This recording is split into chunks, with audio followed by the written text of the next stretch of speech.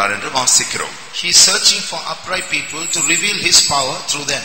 அவர்கள் மூலமாக தம்முடைய வல்லமை வெளிப்படுத்தும்படி உத்தம இருதயம் உள்ளவர்களை தேவன் தேடிக் கொண்டிருக்கிறார் Now, what is uprightness? உத்தம இருதயம் உத்தமம் என்றால் என்ன Even even uh, saints can be upright, sinners can also be upright. பரிசுத்தவான்களும் உத்தமமாயிருக்கலாம் மாறாக பாவிகளும் உத்தமமாயிருக்கலாம் An upright person need not be a holy person. ஒரு நீதிமான் பரிசுத்தவானா இருக்க வேண்டிய அவசியமில்லை So th- we, there are people who are sinners who can be upright. பாவிகளும் கூட உத்தம இருதயத்தோடு கூட காணப்பட முடியும் What is uprightness? உத்தமம் என்றால் என்ன It is loving the truth.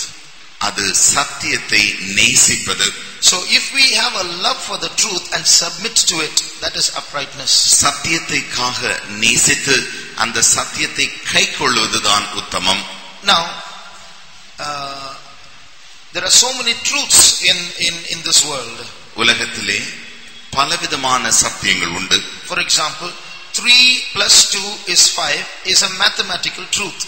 உதாரணமாக சொல்ல போனால் கணக்கியல் ரீதியாக மூன்றையும் இரண்டையும் கூட்டினால் அது ஐந்து என்று கணக்கியல் சத்தியமாக இருக்கிறது Now, this was not a truth defined by some uh, big human beings, heads of departments of various univer- universities. இந்த சத்தியங்களை எல்லா யூனிவர்சிட்டியில் இருக்கிறதான அந்த தலைமை ப்ரொஃபசர்மார்கள் சேர்ந்து செய்கிறதான ஒரு கண்டுபிடித்த சத்தியம் அல்ல It is something that always existed. 3 plus 2 has always been 5 even before the world existed. இவைகள் திடீரென்று வந்ததில்லை உலகம் தோன்றுவதற்கு முன்பதாகவே மூன்றும் இரண்டையும் கூட்டினால் ஐந்து என்று எப்பொழுதுமே எல்லாராலுமே ஒத்துக்கொள்ளப்படக்கூடியதான ஒரு சத்தியமா இருக்கிறது Even before the world came into existence, that was the truth. உலகம் இது உருவாகுவதற்கு முன்பதாகவே இந்த சத்தியம் காணப்பட்டது And if all the mathematicians in this world together and get together and sign a treaty and say, hereafter 3 plus 2 is going to be 6, that's not going to change. எல்லா கணக்கியல் நிபுணர்கள் எல்லாரும் திடீரென்று ஒன்றாக சேர்ந்து இனிமேல் மூன்றையும் இரண்டையும் கூட்டினால் அது ஆறு என்று அறிவிக்கப்பட வேண்டும் என்று அவர்கள் அப்படி ஒரு சட்டத்தை கொண்டு வந்தாலும் அதை அந்த சத்தியத்தை யாரும் ஏற்றுக்கொள்ள மாட்டார்கள் Even if the whole world, every human being in the world acknowledges hereafter 3 plus 2 is going to be 6, the whole world is going to suffer loss, but 3 plus 2 will remain 5. Even if in all the textbooks it is erased and changed, 3 plus 2 will still remain 5. Only the truth has been altered, that's all. The truth is truth. இந்த உலகத்தில் இருக்கிற எல்லாருமாக சேர்ந்து ஒன்றாய் கூடி மூன்றையும் இரண்டையும் கூட்டினால் அது ஆறுதான் என்று சொல்ல வேண்டும் என்று கேட்டால் அது கோடிக்கணக்கான நஷ்டங்களை இந்த உலகத்திலே வருவிக்கிறது என்றெல்லாம் சொல்லி அவர்கள் அப்படி மாற்ற என்னத்தான் முயற்சித்தாலும் பாடங்களில் எல்லாம் அந்த கணக்கை அப்படி அவர்கள் மாற்றி விட்டாலும் அழித்து விட்டாலும் அந்த ஒரு காலும் மூன்றும் இரண்டை கூட்டினால் ஐந்து என்கிற சத்தியம் அழியவே முடியாது. அதுதான் சத்தியமாயிருக்கிறது. You can wipe it from the wall, you can wipe it from the blackboard, you can wipe it from the textbook, you can wipe it from students' minds, but 3 plus 2 will ever remain 5. நீங்கள் இந்த மூன்று இரண்டை கூட்டினால் ஐந்து என்கிறதான் அந்த பதத்தை. நீங்கள் கரும்பலகையில் இருந்தோ அல்லது பள்ளி பாட பாட நூல்களில் இருந்தோ அல்லது மாணா மாணவர்களின் மனதில் இருந்தோ நீங்கள் அடித்து எடுத்து விடலாம். அப்படி எடுத்து விட்டாலும் மூன்றையும் இரண்டையும் கூட்டினால் அது ஐந்து என்கிற சத்தியம்தான் உண்மை Just like 3 plus 2 is equal to 5 is a mathematical truth, there are many uh, truths pertaining to the kingdom of God. எப்படி மூன்றையும் இரண்டையும் கூட்டினால் ஐந்து என்று கணக்கியல் நிருபத்திலே சொல்லப்படுகிற சத்தியமாய் அது காணப்படுகிறதோ அதே வண்ணமாக வேதத்திலேயும் பலவிதமான சத்தியங்கள் காணப்படுகிறது Truths about God, about His kingdom, about us, about who we are, about how we have to get there. There are so many truths connected with this. நம்மை குறித்தும் தேவனுடைய ராஜ்யத்தை குறித்தும் நாம் எப்படி இருக்க வேண்டும் என்று சொல்லியும் வரப்போகிற நித்தியத்தில் நாம் எப்படி இருக்க வேண்டும் என்றும் எல்லாம் சொல்லி தேவனுடைய ராஜ்யத்தை குறித்துதான பல சத்தியங்கள் உண்டு No matter how difficult these truths might be, எவ்வளவு கடினமான சத்தியமாக இந்த சத்தியங்கள் காணப்பட்டாலும் பரவாயில்லை. If whether I can live according to the truth or not, if I can admit that that truth is truth, that is called uprightness. ஒரு சத்தியத்தின்படி என்னால் ஜீவிக்க முடிகிறதோ முடியவில்லையோ அது ஒரு பொருட்டல்ல. சத்தியத்தை நான் சத்தியமாக ஏற்றுக்கொள்கிற அந்த மாத்திரத்தில் தானே அது உத்தமர் என்று அழைக்கப்படுகிறது. Uh, an upright heart i- is, is compared to a balance When there is nothing in both pans, the needle points to the center. உத்தம இருதயம் என்பது ஒரு தராசுக்கு ஒப்பிடப்படுகிறது தராசின் இரு முனைகளிலும் ஒன்றுமில்லாமல் இருக்கும் பொழுது அந்த நடுவே இருக்கிறதான அந்த முள்ளானது சரியாக அந்த நடு மையத்திலே நிற்க வேண்டும் The Bible says a false balance is an abomination to the Lord. வேதம் சொல்லுகிறது கள்ளத்தராசு தேவனுக்கு அருவருப்பானது God also refers to the balance of the heart. Is your heart tilting to one side or does it love reality and the truth? தேவன் அதே நேரத்தில் நம்முடைய இருதய தராசை பார்த்தும் கூட அதை ஒப்பிட்டு சொல்கிறார் நம்முடைய இருதய தராசு சரியாக சமமாக இருக்கிறதா அல்லது ஒரு பக்கத்தில் சாய்ந்து அப்படி போய் கொண்டிருக்கிறதா Sometimes when you drive a car, சில நேரங்கள் நீங்கள் வாகனத்தை ஓட்டும் பொழுது you take your hand off the steering wheel, you'll see it slowly swerving to one side. நீங்கள் ஓட்டிக்கொண்டிருக்கிறதான அந்த ஸ்டேரிங் வீலில் இருந்து உங்களுடைய கையை எடுத்து விட்டால் திடீரென்று பார்த்தீங்கன்னா கார் அப்படியே மெதுவாக அப்படியே ஓரமாக வளைந்து போய்க்கொண்டே இருக்கும் That means the car has lost its uprightness. அதனுடைய அர்த்தம் என்னவென்று கேட்டால் இப்பொழுது அந்த கார் தன்னுடைய உத்தமத்தை இழந்து போயிற்று If you toss a coin a thousand times, நீங்கள் ஒரு நாணயத்தை எடுத்து ஆயிரம் முறை சுருட்டி போட்டாலும் the probability is that 500 times it will fall on heads, 500 times it will fall on tails. வரப்போகிறதான அந்த பதில் என்னவென்று கேட்டால் ஐநூறு முறை தலையாகவும் ஐநூறு முறை பூவாகவும் அது விழ வேண்டும் If, uh, even if it if it's 400, 600, it's okay. அது நா- ஒருவேளை நானூறு முறை இந்த பக்கமும் அறுநூறு முறை அந்த பக்கமும் இருந்தாலும் அது பரவாயில்லை But if it's going to fall 995 times on one side and only 5 times on the other side, it means something is wrong with the coin. The coin has lost its uprightness. ஆனால் இந்த நீங்கள் நாணயத்தை அப்படி தூக்கி சுருட்டி போடும் பொழுது தொள்ளாயிரத்தி தொண்ணூத்தி ஐந்து முறை ஒரு பக்கம் தலையாக விழுந்து ஐந்தே முறை மாத்திரம் அது பூவாக விழுமானால் அந்த நாணயம் தன்னுடைய சம பங்கை தன்னுடைய தன்னுடைய உத்தமத்தை அது இழந்திருக்கிறது என்பதான் அர்த்தம் same with our heart. அது நம்முடைய இருதயத்திற்கு அதே வண்ணமாக இருக்கிறது How does our heart acknowledge the truth? எப்படி நம்முடைய சத்தியமானது சத்தியத்தை நம்முடைய இருதயம் ஏற்றுக்கொள்கிறது Some people say, you know, uh, I don't believe in God. சிலர் சொல்லுகிறார்கள் நான் தேவ் கடவுள் உண்டு என்று சொல்லி நம்புகிறதில்லை Some people say, I believe in God. சிலர் சொல்லுகிறார்கள் நாங்கள் கடவுளை நம்புகிறோம் Another person will say, you, if you believe in God, keep that belief with you. If you say there's no God, keep that belief with you. ஆனால் இன்னொரு கூட்டத்தார் உண்டு நீங்கள் கடவுள் உண்டு என்று நம்பினால் அந்த நம்பிக்கை நீங்கள் வைத்துக் கொள்ளுங்கள் நீங்கள் கடவுள் இல்லை என்று சொன்னால் அந்த நம்பிக்கை நீங்கள் வைத்துக் கொள்ளுங்கள் என்று சொல்கிறார்கள் Don't fight. Each of you respect your own beliefs. We respect one another's beliefs. ஆகையினால் நீங்கள் சண்டை போட வேண்டாம் ஒருவருடைய நம்பிக்கையை இன்னொருத்தர் நீங்கள் அவமதிக்க வேண்டாம் அவரவர் நம்பிக்கையை அவரவர்கள் வைத்துக் கொள்ளுங்கள் என்று சொல்கிறார்கள் There are three people now. இப்பொழுது மூன்று கூட்டத்தார் உண்டு One person says, I firmly believe in God. முதல் நபர் சொல்கிறார் நான் கடவுள் உண்டு என்று சொல்லி நிச்சயமாகவே நம்புகிறேன் The second person says, I firmly believe that there is no God. இரண்டாவது நபர் சொல்கிறார் கடவுள் இல்லை என்று நான் நிச்சயமாக சொல்கிறேன் The third person says, I respect both your beliefs. மூன்றாவது நபர் சொல்கிறார் இரண்டு பேருடைய நம்பிக்கையை நான் நம்பி நான் மதிக்கிறேன் Of these three, who is upright? இந்த மூன்று பேரில் யார் உத்தமர் Can anyone say? யாராவது சொல்ல முடியுமா The first person says, I firmly believe in God. The second person says, I firmly believe there is no God. The third person says, I, be- I respect both your beliefs. முதல் நபர் சொல்கிறார் கடவுள் உண்டு என்று நான் நிச்சயமாக நம்புகிறேன் இரண்டாவது நபர் சொல்கிறார் கடவுள் இல்லை என்று நான் நிச்சயமாக நம்புகிறேன் மூன்றாவது நபர் சொல்லுகிறார் இந்த ரெண்டு பேருடைய நம்பிக்கையையும் நான் நம்புகிறேன் மதிக்கிறேன் என்று சொல்லுகிறார் Of these three, who is upright? இந்த மூன்று நபர்களில் யார் உத்தமர் Uh, first man is upright. முதலாவது மனிதர் தான் உத்தமர் The third man, மூன்றாவது மனிதர் is he upright? The third அவரும் man, he says, I respect both your beliefs. இரண்டு பேருடைய நம்பிக்கையை நான் மதிக்கிறேன் என்று சொன்னாரே அந்த மூன்றாவது நபர் உத்தமர் இல்லையா Is he upright? Yes or no? அவர் உத்தமரா இல்லையா Some are very silent staring. Brother, you tell the answer. I don't want to tell. I want to be upright. You tell the answer. சிலர் இப்பொழுது நான் உத்தமமா இருந்து கொள்கிறேன் பதிலை நீங்களே சொல்லிவிடுங்கள் என்று சொல்கிறார்கள் The first person is upright, right? முதலாவது நபர் உத்தமர் தான் சரி The second person who says, I firmly believe there is no God, he may or may not be upright. இரண்டாவது நபர் சொன்னாரே நான் கடவுள் உண்டென்று நிச்சயமாக நம்பவில்லை என்று சொன்னாரே அவர் ஒருவேளை உத்தமராகவும் இருக்கலாம் உத்தமர் அல்லாதவராக இருக்கலாம் You don't lose your uprightness because you're believing a lie. நீங்கள் ஒரு பொய்யை விசுவாசிக்கிறபடினாலே நீங்களுடைய உத்தமத்தை இழந்து போகிறதில்லை I tell you once again, uprightness is a, not believing the truth. It's a love for the truth. மறுபடியுமாக நான் சொல்லுகிறேன் உத்தமம் என்பது உத்தமத்தை விசுவாசிப்பது அல்ல உத்தம சத்தியத்தை. விசுவாசிப்பதல்ல சத்தியத்தை நேசிப்பது What's the difference? வித்தியாசம் என்ன See, my heart may sincerely love the truth and want to know the truth, but I may be ignorantly or innocently believing a lie.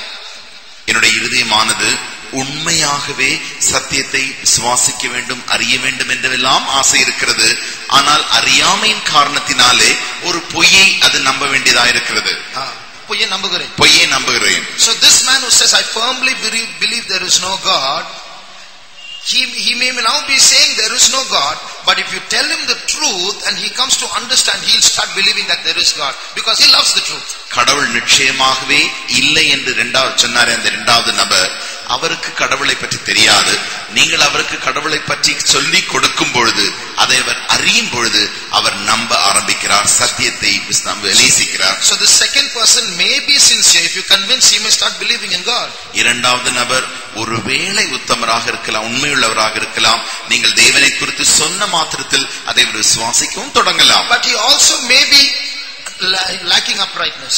அதே நேரத்தில் அவருக்கு உத்தமத்திலும் குறைவுள்ளவராகவும் இருக்கலாம் For example, once a Christian went to an atheist. ஒரு முறை உதாரணமாக ஒரு கிறிஸ்தவர் நாஸ்திகனிடத்திற்கு போனாராம் And the Christian told the atheist, if I can sit for half an hour and prove to you that there is, there is God, that God exists, and if I can convince you, will you believe and accept that there is God? God Yes. exists. கிறிஸ்தவன் கடவுள் இல்லை என்று சொல்கிறதான் அந்த நாஸ்திகனிடத்திற்கு போய் நான் உன்னிடத்திலே அரை மணி நேரம் எனக்கு கொடு அரை மணி நேரத்திற்குள்ளாக தேவன் இருக்கிறார் என்பதை நான் உனக்கு நிரூபித்தால் அப்படி நீ நம்புவாயா என்று கேட்டாராம் He said no.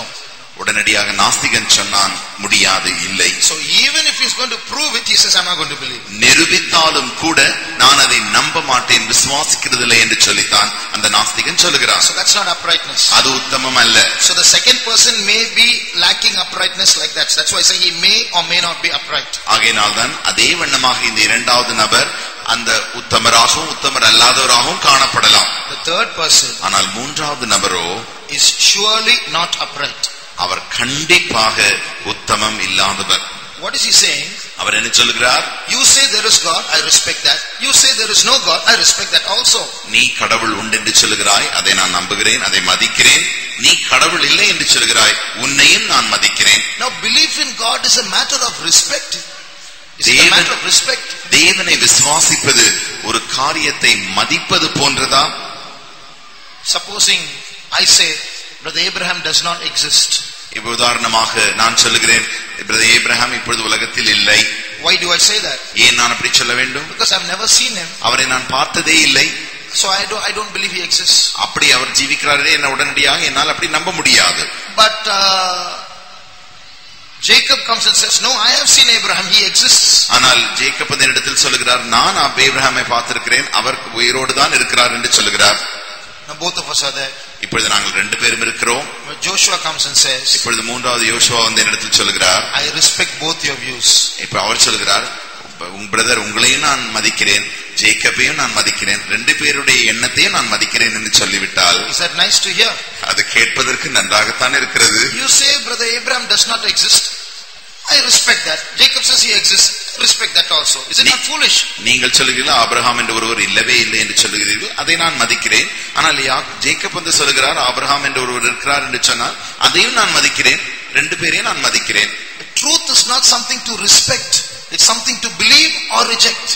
சத்தியம் என்பது மதிக்கக்கூடிய ஒரு காரியம் அல்ல ஒன்று அதை நீங்கள் விசுவாசித்து தான் ஆக வேண்டும் அல்லாவிட்டால் அதை நீங்கள் தள்ளியே ஆக வேண்டும் Because I say Abraham, uh, Brother Abraham does not exist. Does he cease to exist?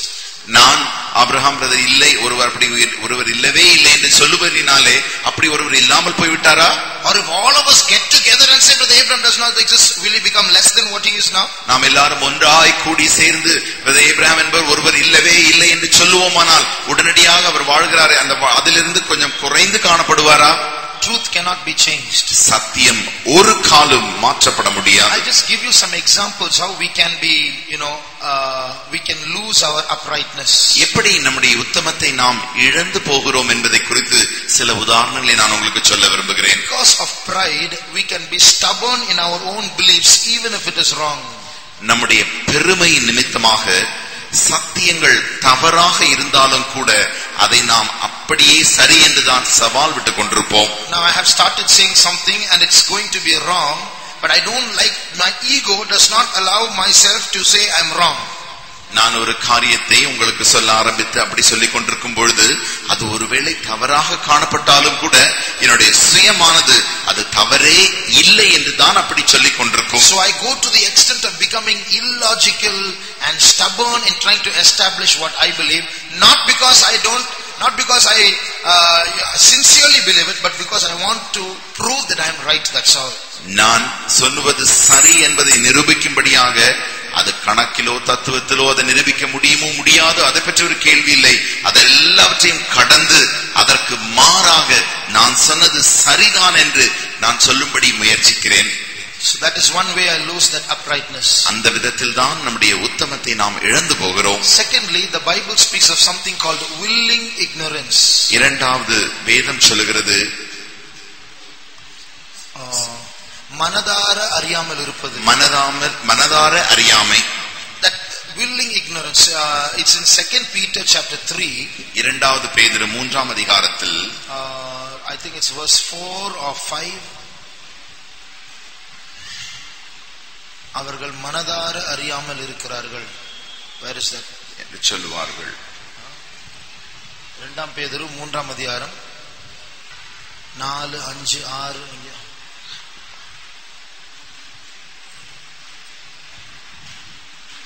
அறிய மனதார ஆறாம் வசனம்? அப்பொழுது இருந்த உலகம் ஜலப்பிரளயத்தினாலே அழிந்ததென்பதையும் மனதார அறியாமல் இருக்கிறார்கள் So in the in English it's written they are willingly ignorant. That means not that they don't know, but they don't want to know.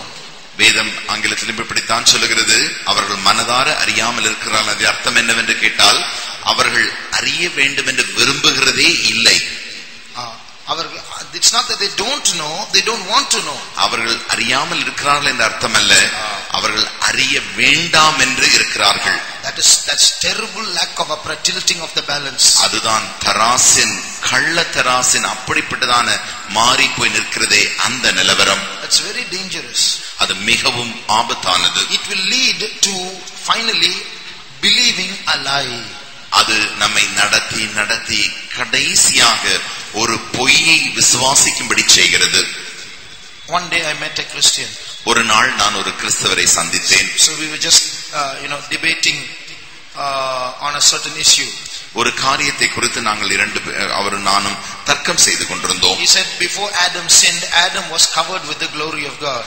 அவர் சொன்னார் ஆதாம் பாவம் செய்வதற்கு முன்பதாக அவன் தேவனுடைய மகிமையினாலே மூடப்பட்டிருந்தான் So I asked him, where is it written that he was covered with the glory of God? அப்பொழுது நான் அவரிடத்தில் கேட்டேன் வேதத்திலே எங்கே எழுதப்பட்டிருக்கிறது ஆதாம் தேவனுடைய மகிமையினாலே மூடப்பட்டிருந்தான் என்று சொல்லி He was not covered with the glory of God. அவன் தேவனுடைய மகிமையினால் மூடப்படவில்லை The Bible says even before Adam sinned, Adam was naked.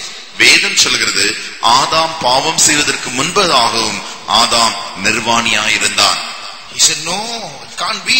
அப்பொழுது அவர் சொன்னார் இல்லவே இல்லை அப்படி இருக்கவே முடியாது Only after they ate the fruit that they became naked. Till then they were covered with the glory of God. அவர் சொன்னார் அந்த பழத்தை புசிக்கும் வரைக்கும் அவர்கள் தேவனுடைய மகிமையினாலே மூடப்பட்டிருந்தார்கள் அதற்கு பின்புதான் அவர்கள் நிர்வாணியானார்கள் என்று சொன்னார் Then I showed him a verse. அப்பொழுது அவருக்கு நான் ஒரு வசனத்தை காட்டிக் கொடுத்தேன் Read Genesis chapter 2, the last verse. ஆதியாகமம் இரண்டாம் அதிகாரம் கடைசி வசனத்தை வாசியுங்கள் மனைவியுமாகிய இருவரும் நிர்வாணிகளாயிருந்தும் வெட்கப்படாதிருந்தார்கள் What's written there? என்ன எழுதப்பட்டிருக்கிறது What's written there? என்ன எழுதப்பட்டிருக்கிறது They were naked. அவர்கள் நிர்வாணிகளாய் இருந்தார்கள் But they were not ashamed. ஆனால் அவர்கள் வெட்கப்படாதிருந்தார்கள் So it was not a glory covering their body was glory, uh, glory covering their mind. They did not know what nakedness was. You see, so all the animals are all naked, but they're not ashamed of that. Just like that, man was naked and not ashamed. அவர்கள் தேவனுடைய மகிமையினாலே சரீரத்தை மூட மூடாமல் இருந்தார்களே தவிர அவருடைய மனது தேவனுடைய மகிமையினாலே மூடப்பட்டிருந்தபடினாலே அந்த வெட்கம் அந்த நிர்வாணம் என்கிறதான அந்த காரியமே அவர்கள் அறியாமல் இருந்தார்கள் But when they ate the fruit, what happened? ஆனால் அவர்கள் அந்த பழத்தை புசித்த மாத்திரத்தில் என்ன நடந்தது Read Genesis 3 7. ஆதியாக மூன்று ஏழை வாசியுங்கள் அப்பொழுது அவர்கள் இருவருடைய கண்களும் திறக்கப்பட்டது அவர்கள் தாங்கள் நிர்வாணிகள் என்று அறிந்து Arindu. It's not they became naked, they began to know that they were naked. அங்கே அவர்கள் நிர்வாணிகள் ஆனார்கள் என்று எழுதவில்லை மாறாக நிர்வாணிகள் என்று அறிந்து So the nakedness, the glory left the mind. அங்- அங்கே அவருடைய தேவனுடைய மகிமை அவருடைய மனதை விட்டு So போய்விட்டு a sense of shame came in. அவர்களுக்குள்ளாக வெட்கம் என்கிறதான ஒரு காரியம் மனதிற்குள்ளாய் வந்து விட்டது a magazine உடனடியாக அவர் ஒரு ஒரு புத்தகத்தை எடுத்தார். And showed there அதிலிருந்து எனக்கு காண்பித்தார். man was covered with the glory of God.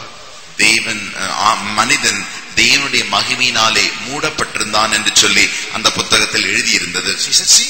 It's written down. Man was covered with the glory of God. உடனே அவர் சொன்னார் பாருங்கள் இங்கே இப்படி எழுதப்பட்டிருக்கிறதே மனிதன் தேவனுடைய மகிமையினாலே மூடப்பட்டான் என்று இந்த புத்தகத்தில் எழுதியிருக்கிறதே என்று சொன்னார் He was much older than I was, so I didn't go to argue with him.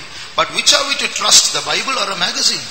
அவர் என்னை விட வயதில் மூத்தவனாய் இருந்தார் ஆகையினால் அவரோடு கூட நான் தர்க்கம் செய்யவில்லை ஆனால் இந்த கேள்வி இங்கே இங்கே என்ன கேள்வி என்று கேட்டால் நாம் எதை விசுவாசிக்க வேண்டும் வேதத்தையா அல்லது யாரோ ஒருவர் எழுதின அந்த புத்தகத்தையா So see where our uprightness is lost sometimes. பாருங்கள் எப்படி சில நேரங்களில் நம்முடைய அந்த உத்தமமானது மாறி போகிறது Once uh, there was a man who kept saying, ஒரு முறை ஒரு மனிதன் இருந்தார் அவர் அடிக்கடி இப்படித்தான் சொல்லுவார் he says, I'm, he said, I'm dead. நான் மறித்து விட்டேன் செத்து விட்டேன் என்று சொல்வார் No matter who you, who could convince, they could not convince him saying, you are not dead, you're alive.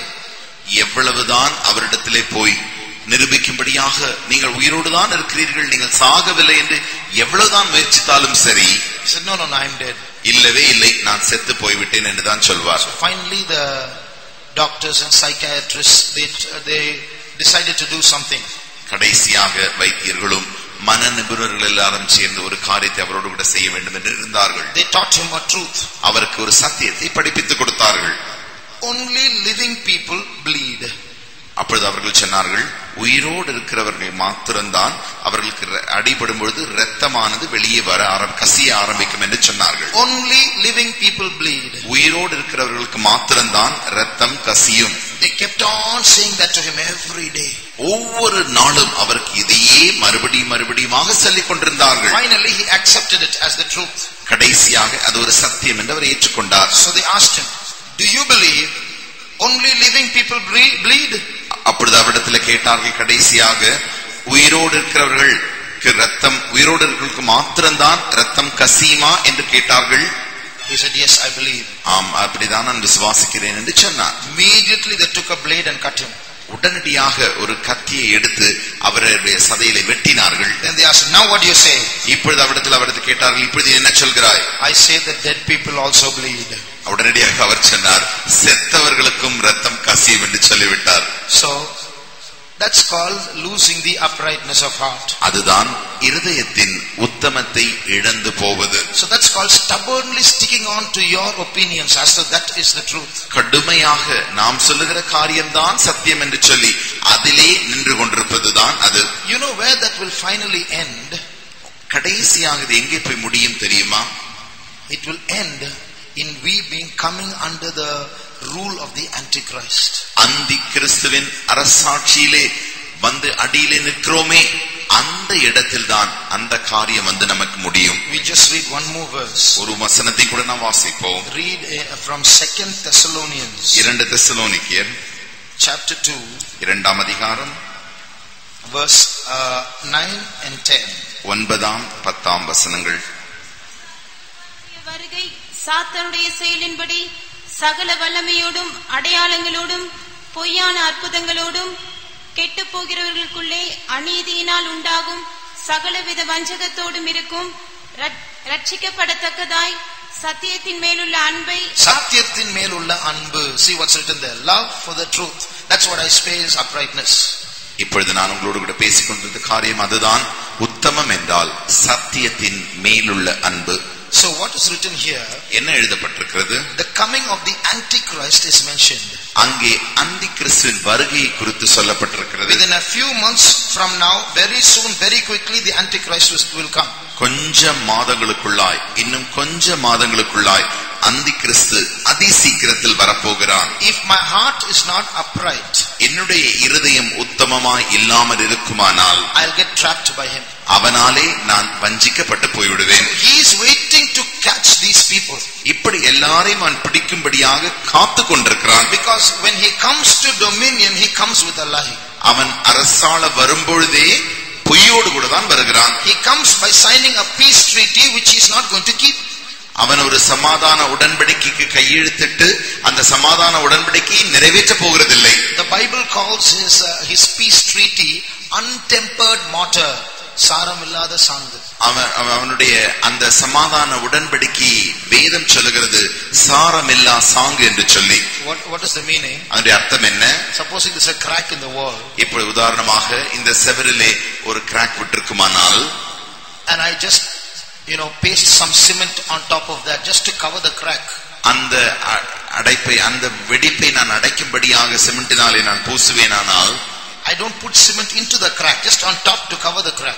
அந்த வெடிப்பிற்குள்ளாய் நான் சிமெண்டை போடுகிறதில்லை மாறாக அந்த வெடிப்பின் மேலே நான் சிமெண்டை பூசுவேனானால் What's that going to do? அதனால் என்ன நடக்கும் Very soon that cement will also crack and the crack will be exposed. அதி சீக்கிரத்தில் அந்த சிமெண்ட்டும் கூட அந்த வெடிப்பில் வந்து அந்த வெடிப்பு வெளியாக The தெரியப்படும் so-called peacemaking of the Antichrist is just like that, superficial, face level. அதே வண்ணமாகத்தான் அந்தி கிறிஸ்து செய்கிறானே இந்த சமாதான உடன்படிக்கும் அவ்வண்ணமாகவே தான் இருக்கும் He is going to work lying wonders, lying signs, tell lies, deceive the whole world. அவன் பொய்யான அற்புதங்களையும் பொய்யான அடையாளங்களையும் செய்து பொய்யையே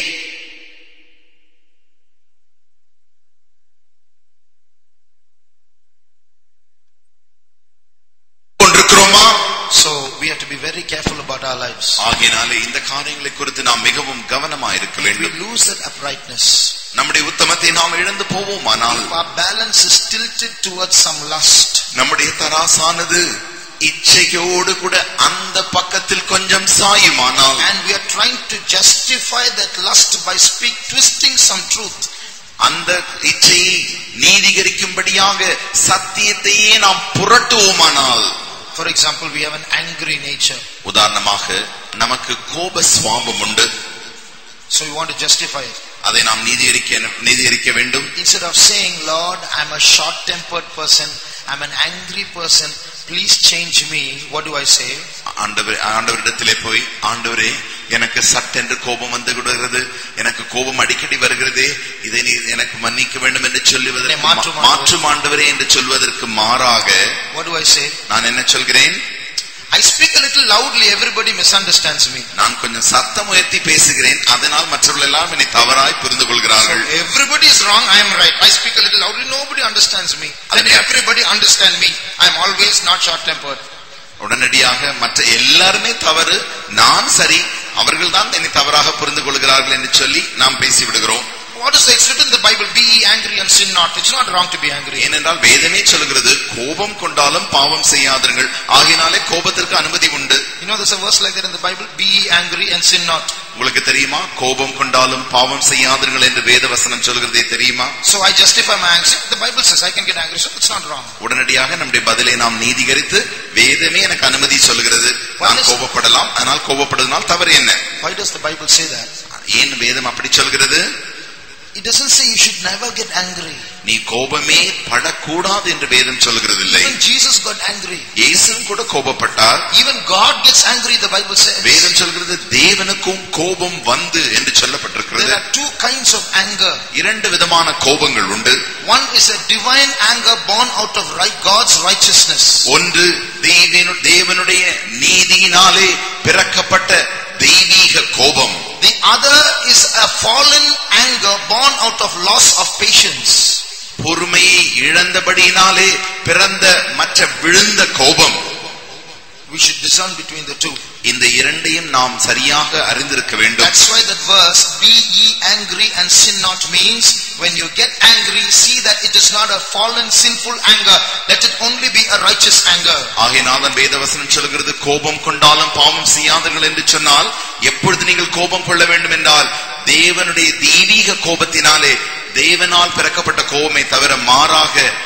அந்த விழுந்த பாவ சுவாபத்தினால் வருகிறதான கோபம் அல்ல So I should try to settle my anger by acknowledging it, not try to justify it and accuse everyone else. ஆகினாலே எனக்கு அப்படி ஒரு கோப சுவாபம் இருக்குமானால் அதை நான் ஏற்று அதை நான் ஒத்துக்கொள்ள வேண்டுமே மாறாக மற்ற எல்லாரையும் தவறாக பேசுவதல்ல If I'm insincere, if I'm not upright, நான் உத்தமம் இல்லாதவனாக உண்மை இல்லாதவனாக இருந்தேனானால் from the Bible I'll be able to find verses that will justify my fallen ways. என்னுடைய விழுந்து போன வழிகளை எல்லாம் நீதிகரிக்கும்படியாக தேவனுடைய வேதத்தில் இருந்து வசனங்களை எடுத்து நான் காண்பிக்க ஆரம்பிப்பேன்.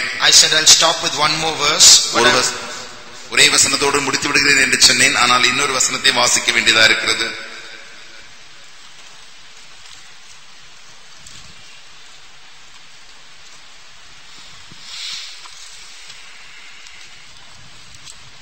Isaiah chapter 28, ஏசாயா இருபத்தி எட்டாம் அதிகாரம்.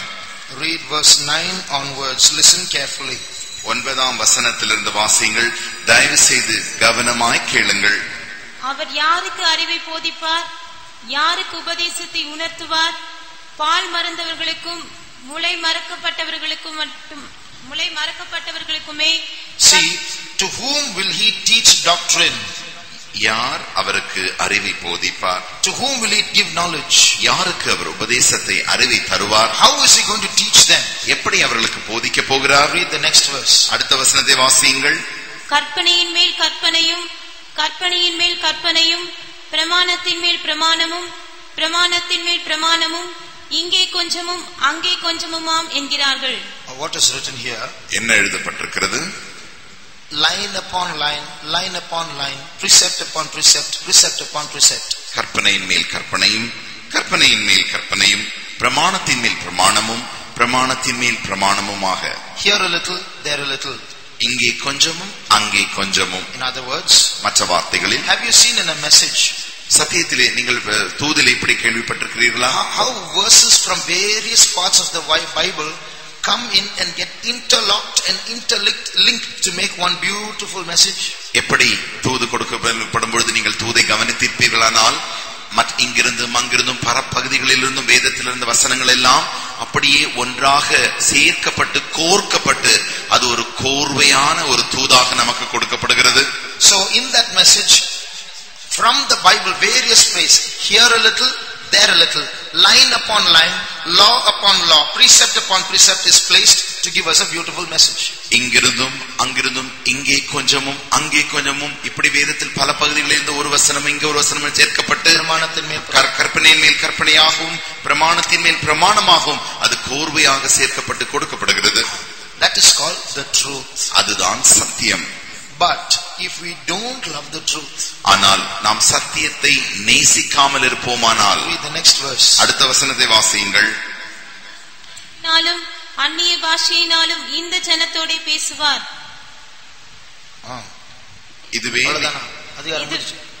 இதுவே நீங்கள் இளைத்தவனை இளைப்பார பண்ணத்தக்க இளைப்பாறுதல் இதுவே ஆறுதல் என்று அவர்களோட அவர் சொன்னாலும் கேட்க மாட்டோம் என்கிறார்கள். அவர்கள் சொன்னாலும் கேட்க மாட்டோம் என்கிறார்கள் that they will not hear. Although i explain to them law upon law precept upon precept line upon line they will not hear. அவர்களுக்கு கற்பனையின் மேல் கற்பனையும் பிரமாணத்தின் மேல் பிரமாணமும் அப்படி நான் கோர்வையாக அவர்களுக்கு கொடுத்தாலும் அவர்கள் கேட்க மாட்டோம் என்கிறார்கள். So what is happening after that? ஆகையினாலே அதற்கு பின்பாக என்ன நடக்கிறது? God gives them another message. அவர்களுக்கு மற்ற ஒரு தூதையும் தேவன் தந்து கொண்டிருக்கிறார். What is what is written there? அங்கே என்ன எழுதப்பட்டிருக்கிறது? Read from the next verse. அடுத்த வசனத்தில் வாசியுங்கள். ஆதலால் அவர்கள் போய் பின்னிட்டு விழுந்து நொறுங்கும்படிக்கும் சிக்குண்டு பிடிபடும்படிக்கும் கர்த்தருடைய வார்த்தை அவர்களுக்கு கற்பனையின் மேல் கற்பனையும் கற்பனையின் மேல் கற்பனையும் பிரமாணத்தின் மேல் பிரமாணமும் பிரமாணத்தின் மேல் பிரமாணமும் இங்கே கொஞ்சமும் அங்கே கொஞ்சமுமாக இருக்கும். What's written here? இங்கே என்ன எழுதப்பட்டிருக்கிறது? Now get, they get another beautiful message. இங்கே அவர்களுக்கு ஒரு நல்ல அழகான தூது From கொடுக்கப்படுகிறது. the same Bible, அதே வேதத்திலிருந்து here a little, there a little, இங்கே கொஞ்சம் அங்கே கொஞ்சம். Line upon line, கற்பனையின் மேல் கற்பனை precept upon precept. பிரமாணத்தின் மேல் பிரமாணம் Beautiful message. அழகான தூது Why? ஏன் So that they might go backward and fall and be snared and broken and taken. அவர்கள் போய் பின்னிட்டு விழுந்து நொறுங்கும்படியும் சிக்குண்டு பிடிக்கப்படும்படியாக So what is happening? என்ன நடக்கிறது When our heart loses its uprightness, நம்முடைய இருதயமானது உத்தமத்தை இழந்து போகுமானால் we will start believing in lies. நாம் பொய்களிலே நம்ப ஆரம்பிப்போம் So what will happen? ஆகையினால் என்ன நடக்கும் We will fall. நாம் விழுந்து போவோம் From we can read the Bible and go to hell. வேதத்தை வாசித்தே நாம் நரகத்திற்கு போய்விடுவோம் that's dangerous. அது மிகவும் ஆபத்தானது if we lack holiness, ஆகையினாலே நமக்கு பரிசுத்தம் குறைவா இருக்குமானால் if we are angry and short tempered, நமக்கு திடீரென்று சட்டென்று கோபம் வருகிற அப்படி கோப சுவாபம் இருக்குமானால் let's not look for verses in the Bible to justify our state, but let's rectify ourselves in the light of the truth. நம்முடைய நம்மை நீதிகரிக்கும்படியாக வேதத்தை ஆராய்ந்து பார்த்து வசனத்தை கண்டுபிடிப்பதற்கு மாறாக நம்மை நாமே ஒத்துக்கொண்டு ஏற்றுக்கொண்டு நமக்கு மன்னிப்பை கேட்போமாக Shall we close our நாம் eyes? நம்முடைய கண்களை மூடுவோமாக We have a God who loves us. நம்மை நேசிக்கிறதான தேவன் நமக்குண்டு And all the truths that He has given us is only because of love. அவர் நமக்கு இவ்வளவு காலமா இப்படி சத்தியங்களை எல்லாம் கொடுத்தாரே இது எல்லாவற்றையும் கொடுத்ததன் காரணம் அவர் நம்மை நேசிக்கிறபடினாலே It is a truth that He is holy. அவர் பரிசுத்தர் என்பது ஒரு சத்தியம் It is a truth that we are sinners. நாம் பாவிகள் என்பது ஒரு சத்தியம் It's a truth that He wants us to be holy even as uh, uh, He He wants us to be holy even as He is holy. அவர் எப்படி பரிசுத்தராய் இருக்கிறாரோ அதே வண்ணமாக நாமும் பரிசுத்தராய் இருக்க வேண்டும் என்பதும் அது ஒரு சத்தியம் But He is looking for upright people. ஆனால் உத்தம இருதயத்தாரை மாத்திரமே அவர் நோக்கி பார்த்துக் The கொண்டிருக்கிறார் Bible says when He sees an upright person, He will come into that person and show Himself strong on His behalf through them.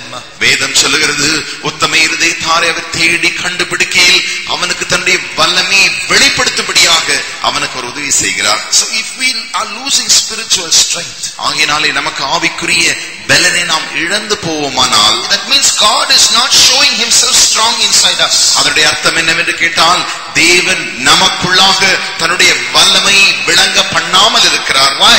ஏன் Because in some area of our life we have lost our uprightness. ஏதோ ஒரு ஜீவியத்தின் ஒரு பகுதிகளிலே நாம் அந்த உத்தமத்தை இழந்து போனபடியினால் If we discover that and come back to the right balance, அதை நாம் கண்டுபிடித்து உண்மையா உத்தம தராசிற்கு நாம் வருவோமானால் the power of God will flow through us once again. மறுபடியுமாக தேவனுடைய வல்லமை நம் மூலமாக பாய்ந்து செல்லும் Have any of us lost the power of God recently? அதி சமீப காலத்திலே நம்ம யாராகிலும் தேவனுடைய வல்லமை இழந்து போயிருக்கிறோமா Anybody here thinks I was strong before, why am I weak now? யாராவது இப்படி நினைக்கிறீர்களா நான் முன்பெல்லாம் மிகவும் பலவானாயிருந்தேன் இப்பொழுது பலவீனனாயிருக்கிறேனே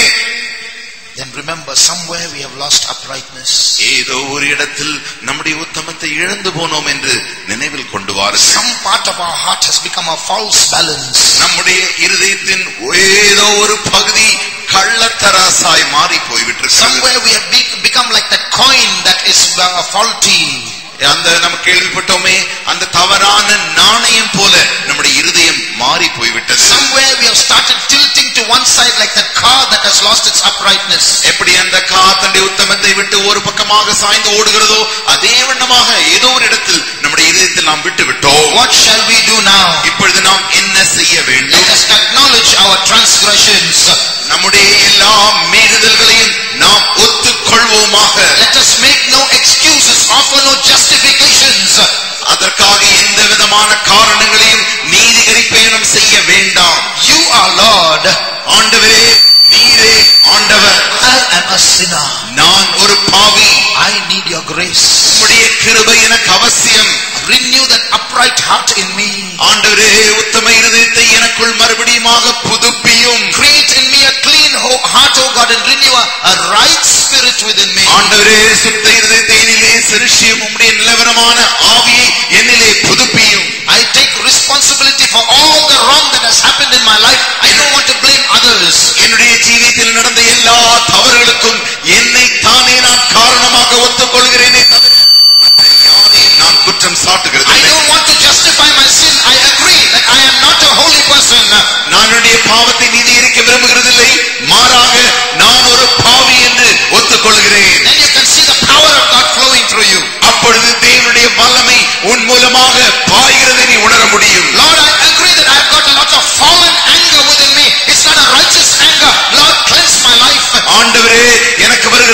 கோபங்கள் எல்லாம் அந்த விழுகையின் கோபமே தவிர தேவனுடைய கோபம் அல்ல அதை நான் ஒத்துக்கொள்ளுகிறேன் Cleanse my heart, O God. என்னுடைய இருதயத்தை சுத்தமாக்கும் ஆண்டவரே When we acknowledge our faults, we can see the power of God flowing through our lives. நம்முடைய தவறுகளையும் குற்றங்களையும் நாம் ஒத்துக்கொள்ளும் பொழுது தேவனுடைய வல்லமை நம் மூலமாக பாய்கிறதை நாம் உணர முடியும் The eyes of the Lord are traveling throughout the whole earth. தேவனுடைய கண்கள் உலகம் முழுதும் நோக்கி பார்த்து கொண்டே இருக்கிறது And He's going to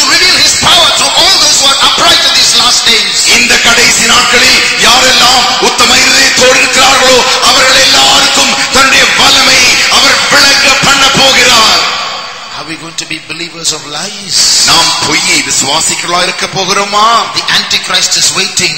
அந்த கிறிஸ்து காத்து கொண்டிருக்கிறான் He's waiting in the dark. அவன் இருளிலே காத்து கொண்டிருக்கிறான் going to take over the whole world and bring everyone under his rule. இந்த முழு உலகத்தையும் அவன் எடுத்து அந்த முழு உலகத்தையும் அவன் அரசாட்சி செய்ய போகிறான் But if your heart is a sincere, upright heart, ஆனால் உன்னுடைய இருதயமோ உண்மையுள்ள உத்தமமுள்ள இருதயமா இருக்குமானால் listen, தயவு செய்து கேளுங்கள் no matter how are, எவ்வளவு பலவீனனாய் இருந்தாலும் சரி. If your heart is upright, உன்னுடைய இருதயம் உத்தமமாயிருக்குமானால் no matter how weak you are, நீ எவ்வளவு பலவீனனாய் இருந்தாலும் சரி. if your heart is upright, உன்னுடைய இருதயம் உத்தமமாயிருக்குமானால் no matter how weak you are, நீ எவ்வளவு பலவீனனாய் இருந்தாலும் சரி. the Lord will send His power upon you. தேவன் தம்முடைய வல்லமை உன்மேல் பொழிய பண்ணுவார். I will guarantee He will take you through. நான் உத்தரவாதம் சரியாக உத்தரவாதம் தர முடியும். அவர் உன்னை கொண்டு செல்வார் He will, you will be seen at His coming அவருடைய வருகையில் நீ காணப்படுவாய் with our eyes closed. நம்முடைய கண்களை மூடின வண்ணமாக How many will acknowledge, எத்தனை பேர் ஒத்துக்கொள்கிறோம் Lord, I am a sinner? ஆண்டவரே நான் ஒரு பாவி How many will not give excuses? எத்தனை பேர் காரணங்களை தரப்போகிறதில்லை I am not blaming others. ஆண்டவரே நான் மற்றவர்களை குற்றம் சாட்ட போகிறதில்லை Lord, I am not going to give excuses. ஆண்டவரே நான் ஒரு காரணமும் இடத்தில் சொல்ல போகிறதில்லை I have only one thing to say. ஆண்டவரே நான் சொல்லும்படி எனக்கு ஒரே ஒரு காரியம் மாத்திரமே உண்டு Lord, I am a sinner. ஆண்டவரே நான் ஒரு பாவி Such people may put up their hands. அப்படிப்பட்டவர்கள் மாத்திரமே உடைய கரத்தை உயர்த்துங்கள் Those who don't feel they are sinners may put down their hands. யாரெல்லாம் தான் பாவி இல்லை என்று நினைக்கிறீர்களோ நீங்களுடைய கையை உயர்த்த If you வேண்டாம் have reasons to justify yourself, you may put down your hands. நீங்கள் உங்களுடைய கார- காரணங்களை சொல்லி நீதி இருக்கிறது உங்களுக்கு காரணங்கள் இருக்குமானால் கையை நீங்கள் தூக்க வேண்டாம் But if you say you're a sinner, you may put up your hands. ஆனால் நான் பாவி என்று நீங்கள் சொல்வீர்களானால் உங்களுடைய கரத்தை உயர்த்துங்கள் Then you're going to see the Savior in your life. இப்பொழுது நீங்கள் இரட்சகரை உங்களுடைய வாழ்க்கையிலே காணப் போகிறீர்கள் Because He's looking for people whose hands are lifted up like this. He's looking for people whose hands are lifted up like this. இப்படி கரங்களை உயர்த்தப்பட்டதான ஜனங்களை அவர் பார்க்கும்படிக்கு தேடிக் கொண்டிருக்கிறார் Now He has found a group of people, a group of young people, a group of sinners in Tambaram who have upright hearts. இங்கே ஒரு கூட்ட வாலிப ஜனங்கள் வாலிபர்கள் தங்களுடைய கரங்களை உயர்த்தினவர்களாய் உத்தம இருதயம் உள்ளவர்களாய் you, the Antichrist is not going to touch you. அந்த கிறிஸ்து உங்களை தொடவே முடியாது என்று நான் உங்களுக்கு சொல்கிறேன் But Jesus is going to touch you. ஆனால் இயேசு உங்களை தொடப் போகிறார் Jesus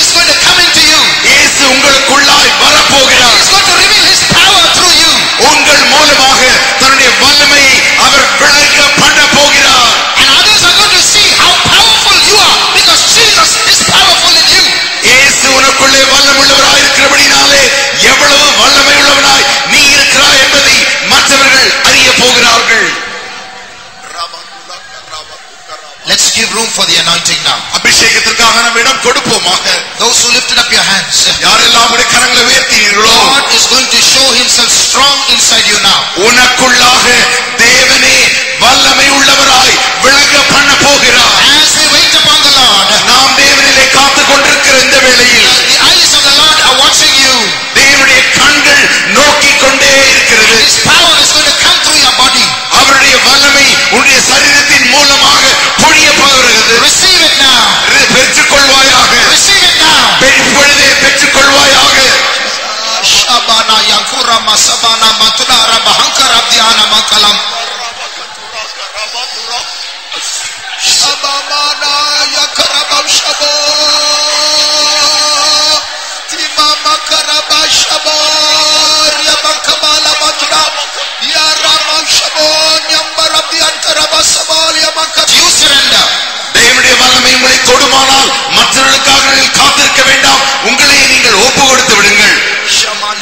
Abasa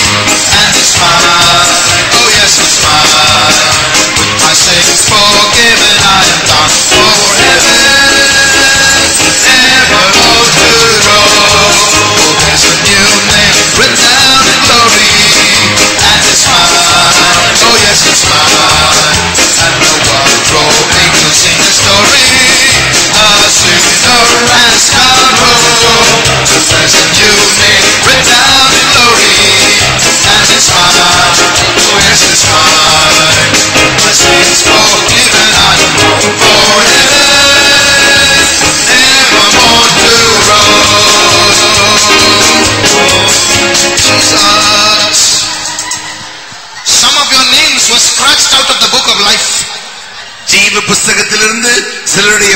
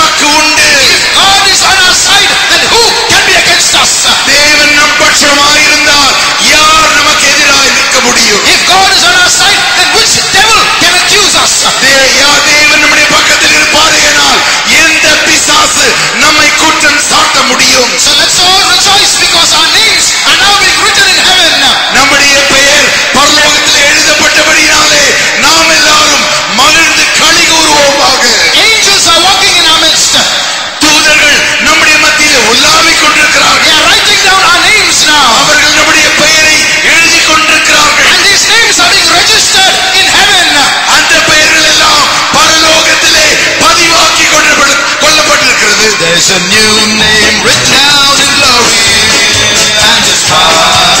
Oh yes, it's mine. And the wide road angels sing their story.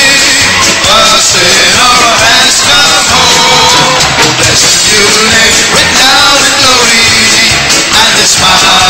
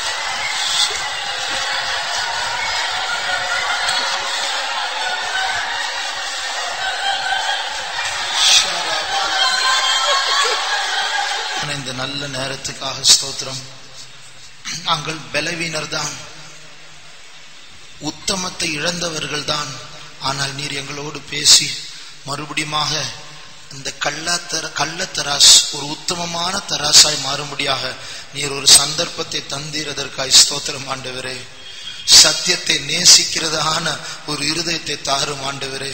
நாங்கள் எப்போதும் எங்களுடைய தவறான நிலவரத்தை ஒத்துக்கொண்டு தாழ்த்தி ஜீவிக்க கிருபை தாரும். இப்பொழுதும் நீர் தந்த அபிஷேகத்தை காத்துக்கொண்டு ஆண்டவரே நீர் உம் நீர் உம்மை எங்களுக்குள் வல்லமை உள்ளவராக வெளிப்படுத்தும்படியாக நீர் சித்தம் கொண்டிருக்கிறீரே அதற்கு தேவையான அந்த உத்தமத்தை காத்துக்கொள்ள நீர் உதவி செய்து ஒவ்வொருவரையும் காத்துக்கொள்ளும். இயேசு நாமத்தில் வேண்டிக் கொள்கிறோம் பிதாவே. ஆமென்.